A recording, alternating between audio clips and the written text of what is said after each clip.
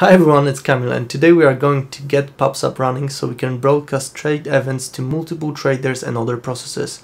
To follow along, read the description below. Uh, otherwise, to support my channel, don't forget to leave the thumbs up and subscribe. Enjoy!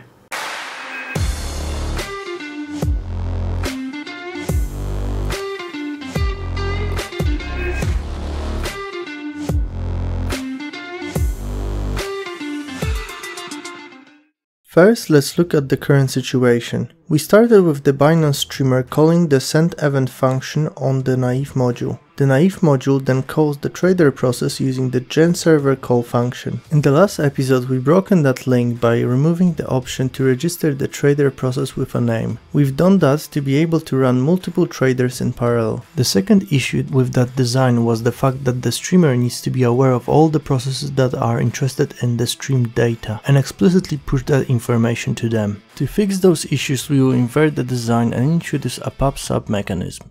The streamer will broadcast into the PubSub and whoever is interested can subscribe to the channel and it will receive the broadcasted messages. There's no coupling between the streamer and the naive strategy anymore. We can now introduce multiple traders that will subscribe to the channel and will receive messages from the PubSub. Going even further down the line, we can picture that in the future system will consist of multiple processes interested in the streamed data. Example of those could be a process that will save all the streamed information into the database to be utilized in the future for backtesting purposes. First, let's start with mix format to catch up on code formatting as we didn't use it in the last episode. We will start by modifying the naive apps mix file. We need to add Phoenix PubSub module into its deps.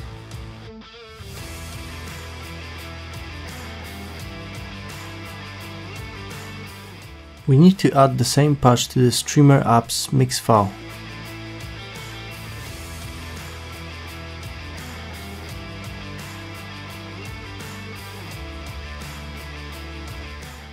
Now we can add Phoenix PubSub into the children list of the streamer's application module. Here we will use the adapter name option, which normally belongs inside the config, but I couldn't find a way to configure it without using the whole Phoenix.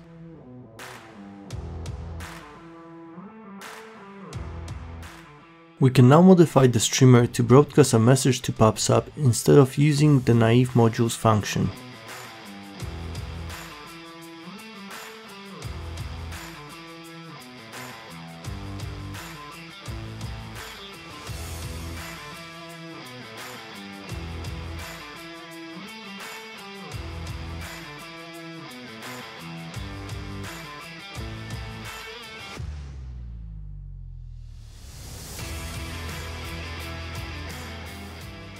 Inside the trader on init we need to subscribe to the trades PubSub channel. Then we need to change all our handle casts to handle info as this is the type of the message that PubSub uses.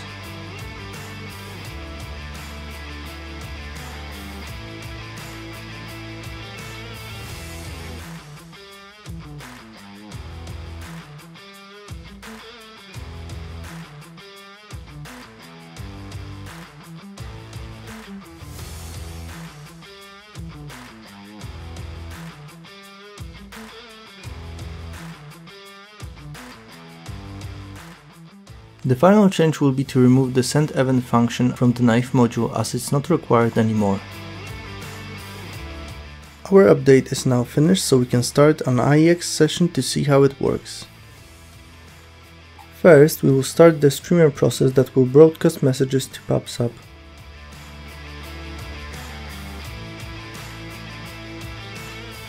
Next, we will start trading with a single trader. Here I modified the code so it sells with a loss just to make this example quicker. After the initial fetching of symbol information by the leader, the trader will be started and it will make a full cycle a couple times. This shows that all new traders are subscribing to the PubSub and we can continuously trade with this extremely simple broadcasting system.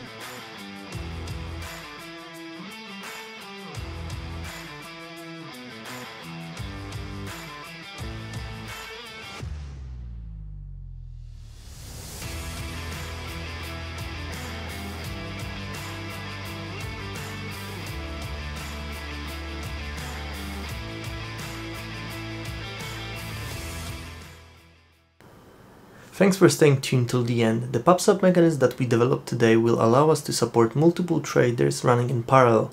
We will focus on, that in the next episode. If you want to support those episodes, just don't forget to leave the thumbs up and subscribe. See you in the next episode.